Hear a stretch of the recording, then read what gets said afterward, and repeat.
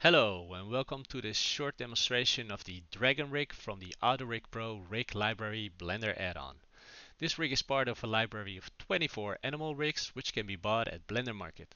It's important to note that the AutoRig Pro Rig Library is specifically built for the AutoRig Pro rigging system, so you need to have bought that add-on for the rig library to work. Each of the 24 rigs comes with a locomotion animation, and in the case of this dragon, that's this flying animation. Uh, let me show you that from multiple angles so you can get a better idea of the animation.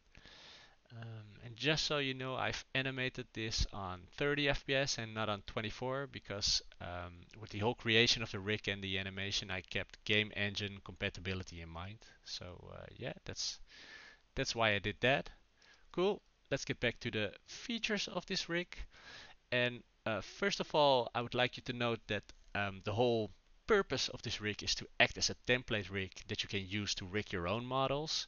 So um, any type of uh, model which has a similar anatomy uh, as to this dragon, uh, you should be able to rig it using this template rig.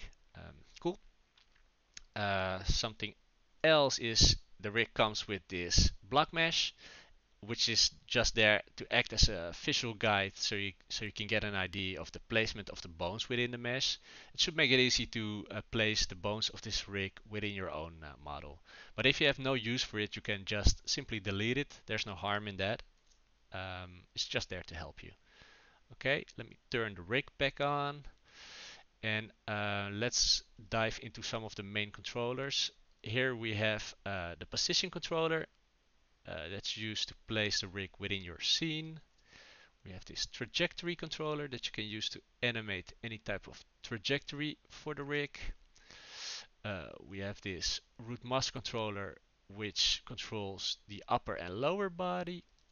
And we have this root controller which only controls the lower body. So you can use that to animate a hip sway, for example. Also have this tail master controller uh, that lets you animate all the tailbones at once. And the same principle with this uh, spine master controller it lets you animate all the spine bones at once. The neck master controller lets you animate all the neck bones at once and then we get to the head controller. Uh, if I open the tool tab you can see that it has this headlock property. Let me demonstrate what it does. So if I take the neck controller and I moved around, you can see that the orientation of the head follows. But if I toggle this headlock and I move the neck around again, you can see that the orientation of the head keeps facing forward. So that's what the headlock does. Okay, onto the legs. The legs are by default in IK mode, but I can easily switch to FK. So let's switch back to IK. Uh, let me show you the auto stretch feature. Let me turn it on. So the, the auto stretch is when I move the leg beyond its limit, it stretches the leg, uh, which gives for some nice uh, cartoony animation.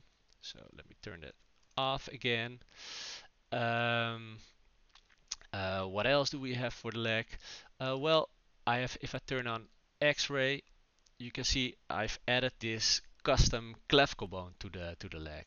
Um, as you can see, and um, I I found it necessary to add this uh, custom bone to the leg setup uh, because AutoRig Pro by default didn't uh, give me the uh, uh, the option. I needed an additional bone for the clavicle um, just to make it a more realistic setup for the leg. Um, so yeah, that's the reason for the for the for the additional custom clavicle bone that's there. Let me turn off X-ray. Um, onto the foot.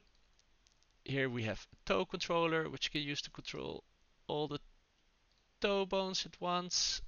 Here, uh, a foot controller for nice ankle controlling here we have the foot roll and uh, that's nice for well a foot roll when you move it uh, up and down and when you move it sideways it gives a nice banking movement of the foot okay uh, onto the onto the wings.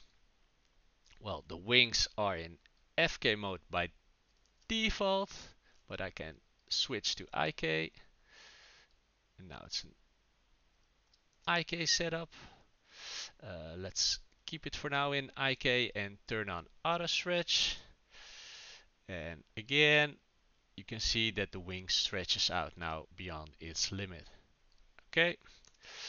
Uh, arm twist is there to correct any deformation in the arm. Uh, and we have elbow pinning. So uh, here we have, wait, let me show you that a little bit better. Here we have the elbow.